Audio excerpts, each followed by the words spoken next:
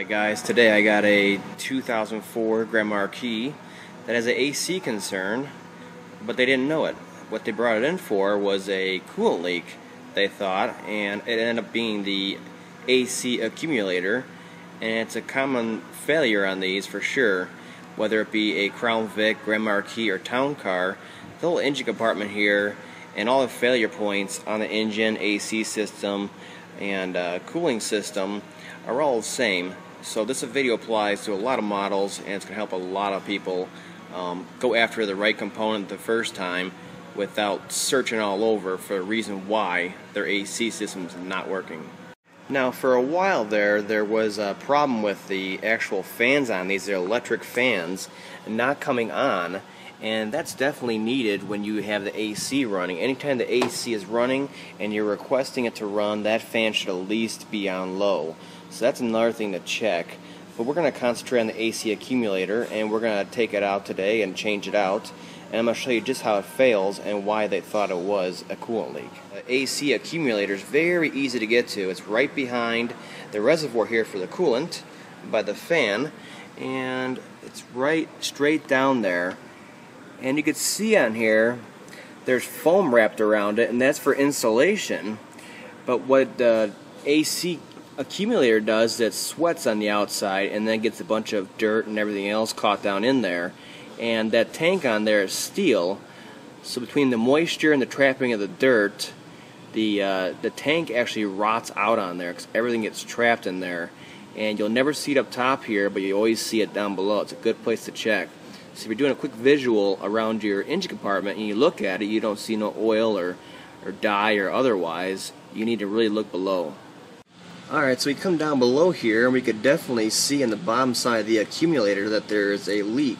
Now these will get wet, the whole foam ring there will get wet with uh, water and don't count that as a leak.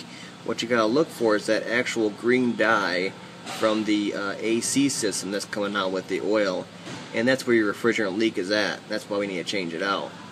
If we keep uh, putting more refrigerant in there, just gonna keep coming out, keep coming out. And this leak, you can see if there's that much oil, that means it's leaking a lot of refrigerant also. So we're gonna, so a regular stop leak is not really gonna be able to seal that up either. Now most of these actually go so long that there's no refrigerant left in the system to evacuate, but in the end we're going to have to at least do a vacuum on the system to get any air out of there for sure before we ever try to charge the system. Uh, the ports on here, right here is the high side, and then back there, it's very easy to get to also, is the low side, and that's the charging port right there. Now in this particular car, there's a lot of refrigerant left in here, so we're going to do an actual evac and uh, vacuum on it so that it boils off all the refrigerant in the oil also, and get it all sucked out of there so it's safe to pull those lines off of there. Okay, now we have zero pressure in the system. We can start pulling the connections off of there.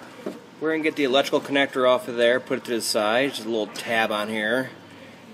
Pop it off to the side. And then there's these retainers right here. Just hold the two lines together as a safety. We can pull those off. And there's one over here too. Should be able to see that. Pull that off. Now before I actually pull these connectors off, these hoses, I like to spray the backside of the connection there, the spring retainers on there, with compressed air to get any kind of dirt out of there, make it a lot easier to uh, expand the spring on there and get them out. And a tool to get them off is a regular fuel line quick connect like this. You can get them from Lisle and they sell this basic kit at just about every auto parts store Harbor Freight uh, Blain's Farm & Fleet in order to release them you just put the quick release on there like this. And then you push it up into there and it will spread out the garter spring in there.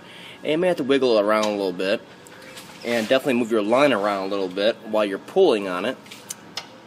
So I like to pull up on the fitting to get it in there all the way and release the garter spring. And then take my hand and grip the line and twist it out too. And it'll come out and you see there's three O-rings on there, so it takes a little bit to get it out of there, plus a big heavy line. But they will come out. Just keep moving that release tool around so it fully releases that garter spring, and after that it should come off uh, fairly easy.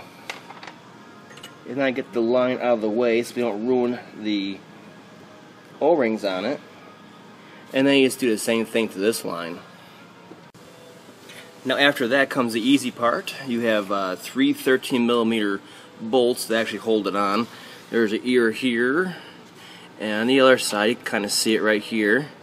And then one down below, you'll be able to see it uh, right next to where we, we saw that leak earlier.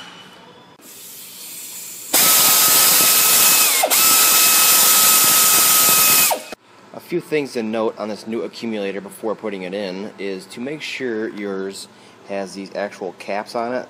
Inside of there should be a vacuum put on the system from the factory, and these caps should be, still be present. And when we pull them off, there should be a hiss sound from the vacuum. Um, also, the old AC cycling switch is not compatible with the new one uh, if you're going from the straight up and down one, the vertical one, to the horizontal version. And that happened in 03. Now, the most important thing is that the new accumulators and the new uh, sensors, the switch, the cycling switches, they never ever come with the O-ring. You must transfer it over. Most of the time these are A-OK to transfer over as long as you're careful. Otherwise, you want to deal with it, you better order a new one when you order a new accumulator. Okay, we got our O-ring transferred without damage and oiled it up a little bit. That sensor, we're going to screw in the sensor later so we don't break it off of there, the actual switch. I keep calling it a sensor. We'll screw that on later so it doesn't break off. Now I can pull these caps off of here and it should make a sound. Now you're supposed to drain the old one by drilling a hole in the bottom of it and see what you collect out of it as far as oil. But I've always been comfortable with 3 ounces of oil. But make sure you put it in the inlet side and not the output side because there's an actual reservoir of oil in here and uh, separate it before it comes out. And then just lube your O-rings on your fittings here, your hoses with some PAG oil and then they'll slide right in. And slide them all the in and wiggle them until you hear a click. And now you can see it won't come off of there. Don't forget your uh, clamps on here, your safety catch. Now before I put this last line on here that goes into here, I put the cycling switch on and make sure your O-ring's on here and lubricated. It's very important. And the reason I put it on here now is when we're finagling it down in here, this thing can crack off here very easy. It's all plastic, so uh, we're less of a chance to damage it um, putting on now. And you can tighten it on by hand. You should be able to all the way down to the bottom. And then I just snug it up a little bit uh, with 11 16 wrench. Quarter turnabout. It's more than enough. You'll feel it. And then make sure you plug your connector back in.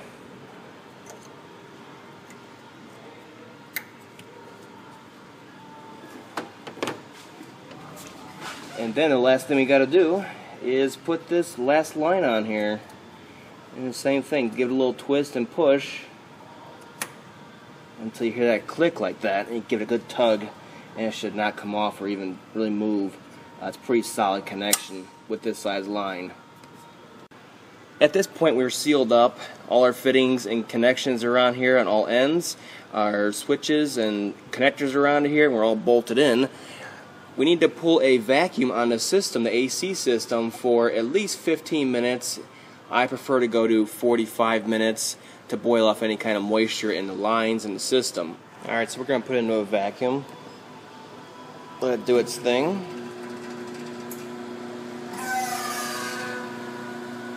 And it'll suck it down to about 28 or 30 uh, inches of vacuum there.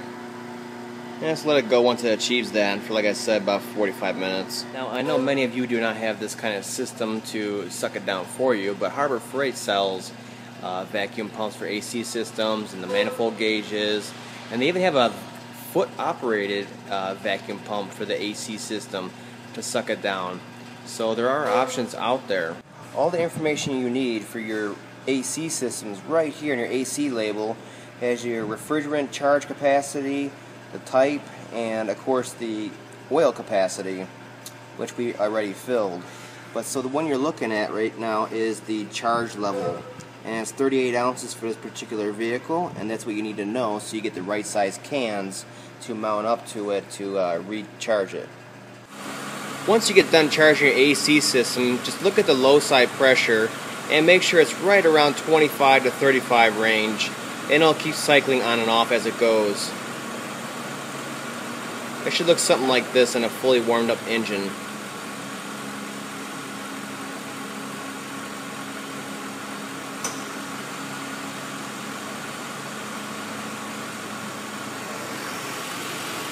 And that's about it. Hope this helps.